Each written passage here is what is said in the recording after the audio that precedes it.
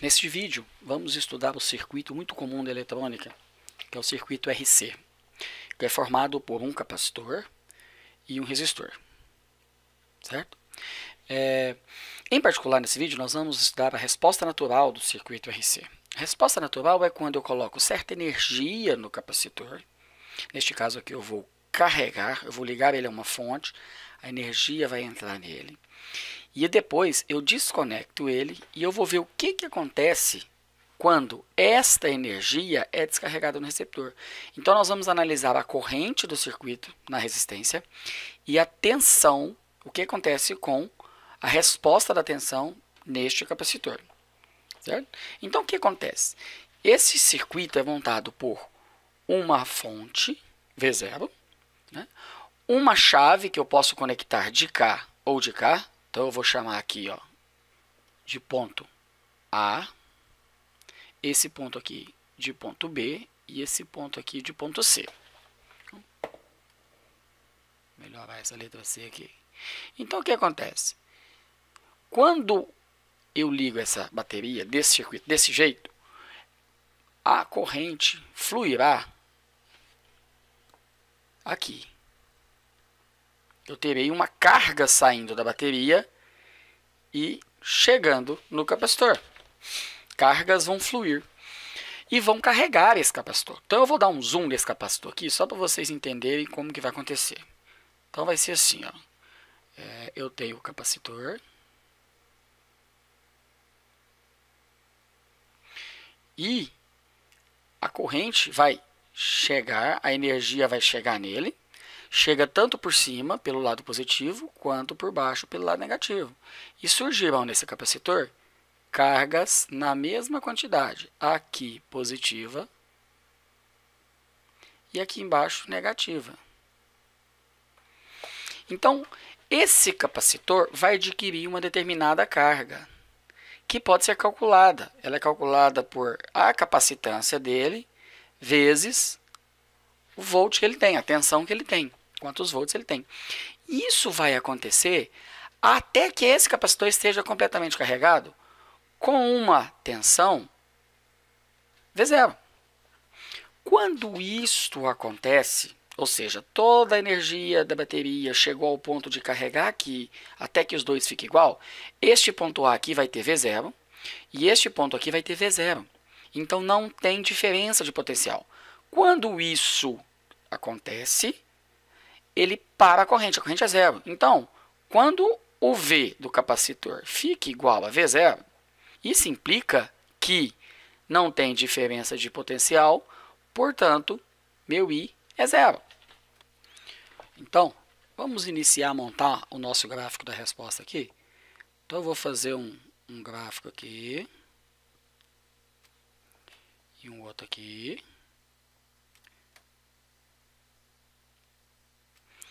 Esse aqui é o V de t em função do tempo. E esse aqui é meu I de t em função do tempo. Meu V de t está localizado aqui. Então, eu vou arrumar aqui para você. Eu vou colocar o... Porque antes, para carregar o, capacitor, eu tinha V0. Agora, que ele já está capacitado, eu vou ter um V de T, que varia com o tempo. Certo? E o I eu vou ter aqui no resistor. Porque depois que ele, depois que eu carreguei esse capacitor, o que, que eu vou fazer? Eu vou pegar essa chavinha aqui, ó, em B, e vou passar ela para C.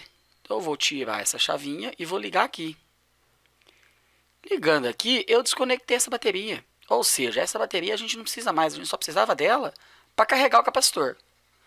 Então o que acontece? Num tempo antes do que eu quero ver, eu tinha que o meu V de T valia um valor V0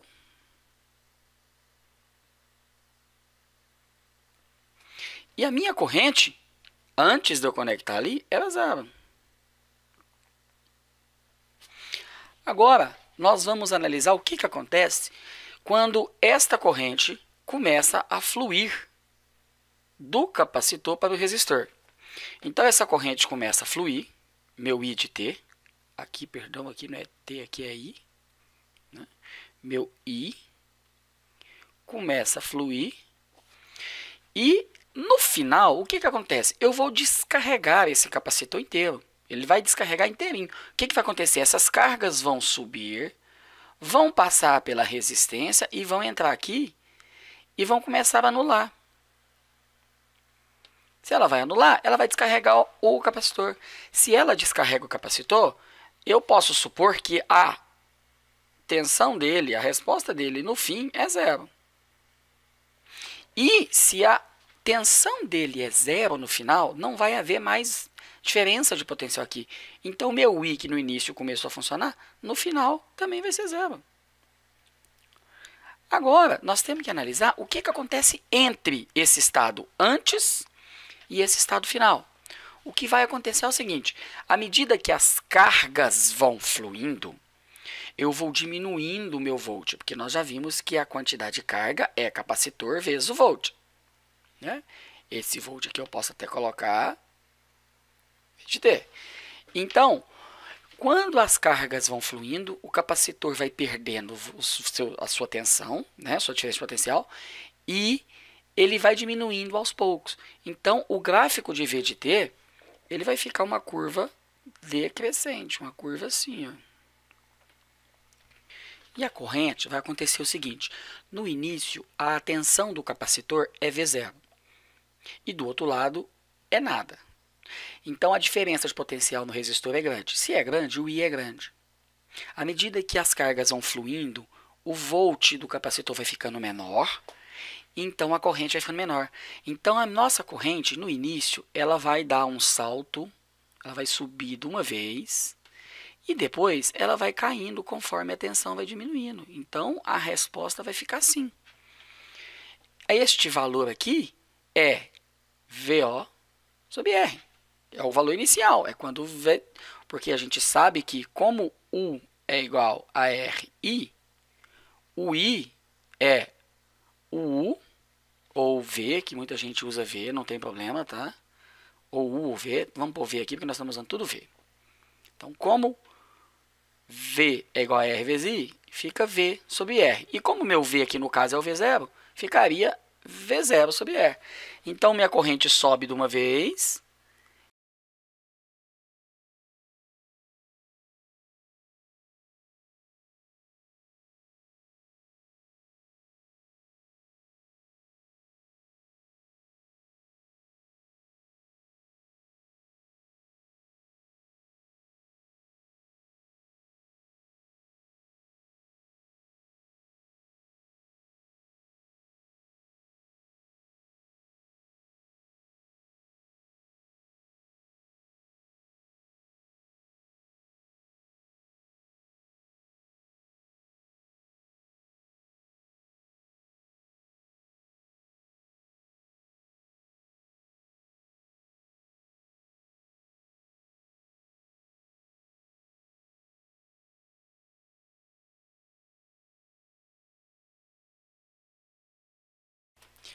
E depois vai descendo junto com a tensão.